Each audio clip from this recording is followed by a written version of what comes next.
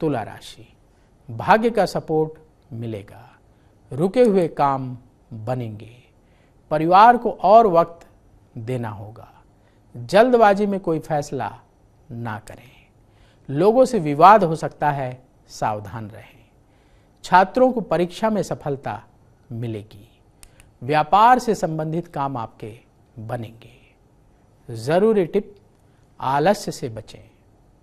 शुभ रंग क्रीम उपाय किसी गरीब को आटे का दान करें।